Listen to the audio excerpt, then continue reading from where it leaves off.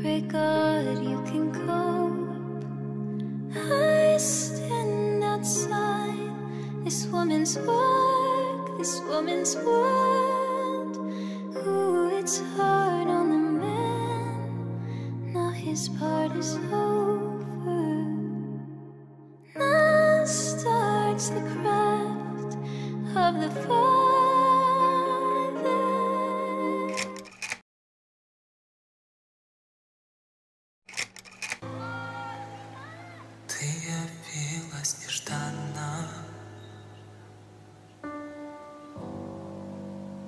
Как из лунного сна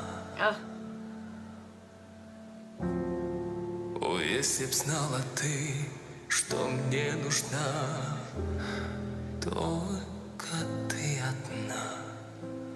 Сразу хочу сказать вам, что он всегда цепляет меня своими легкими переходами между различными, между различными техниками и способами пения. Здесь мы слышали, было много дыхания, а потом был полный грудной баритон. Я к тому, что эти переходы такие бесшовные, и они кажутся такими легкими, но это нелегко. Просто по нему не скажешь.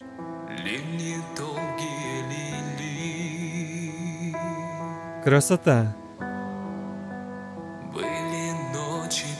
Сна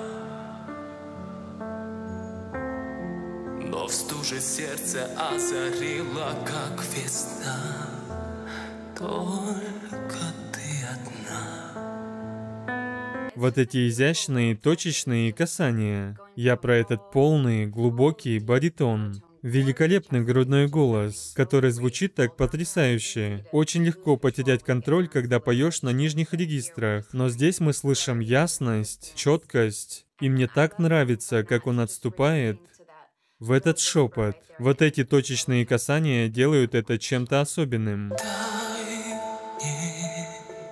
Прекрасно.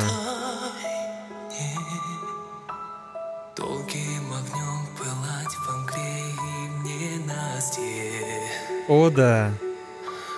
Дай мне, дай мне О господи. Ночью и днем сгорать в костре грешной страсти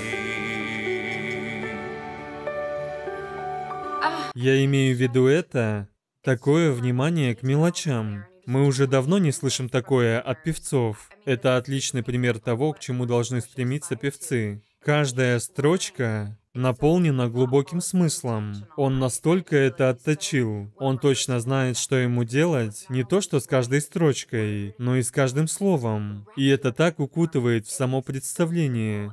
Помимо идеальной технической подачи, мы слышим невозможный контроль. Я обожаю это дыхание, шепот. Это так сладко звучит. А вот эти крошечные моменты... Вообще кафета. Замкнула Даешь свет.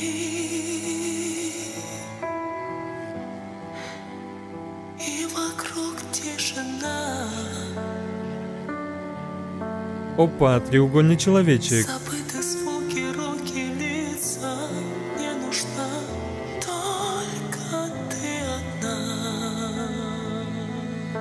Также хотела бы сказать про его невероятную технику владения микрофоном. Когда он поет шепотом, он подносит микрофон очень близко, чтобы не упустить каждую мелочь. Ведь микрофон — это лучший друг певца. У него отличная техника владения микрофоном. Околдован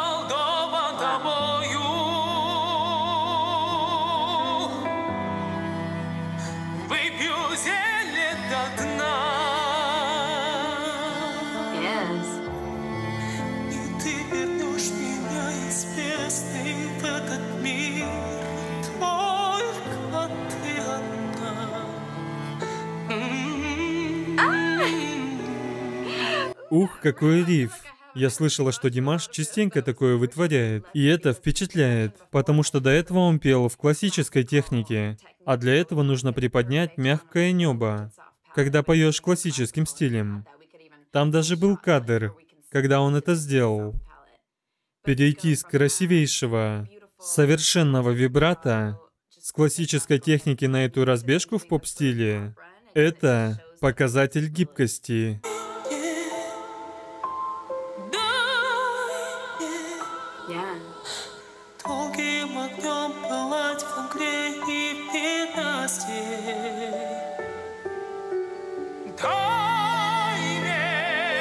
О мой бог.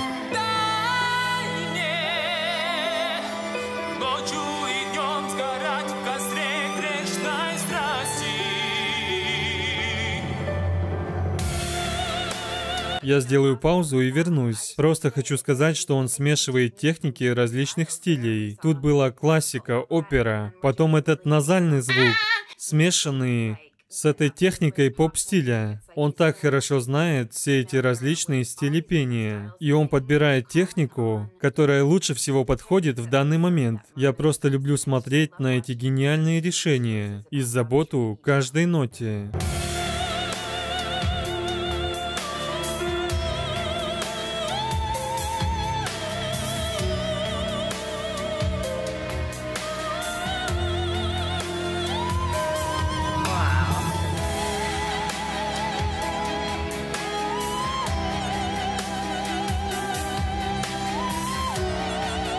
А вот и руки.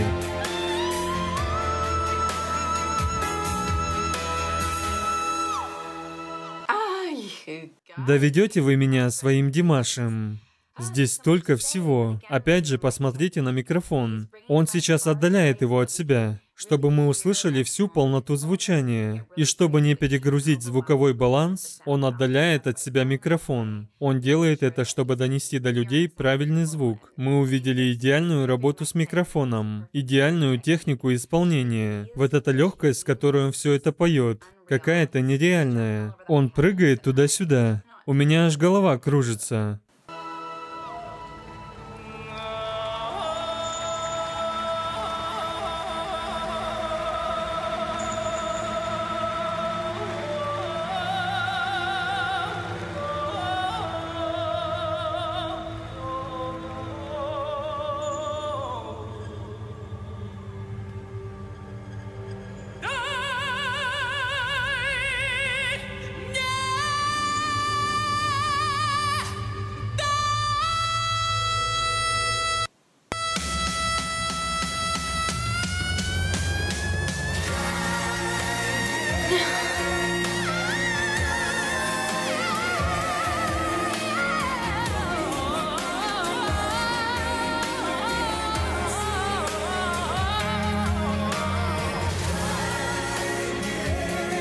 Извините, но мне нужно сделать паузу, чтобы видео не заблокировали. И вообще, что это было?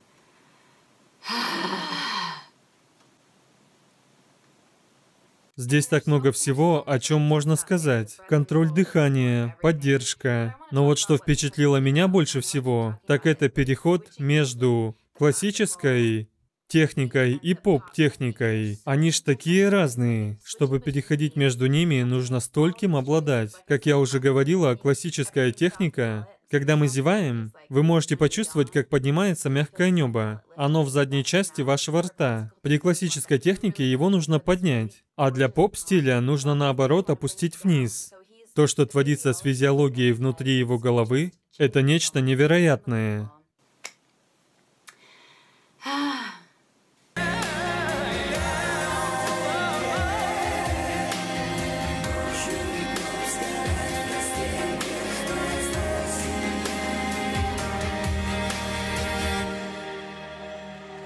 Группа мне тоже нравится. Вот это драма.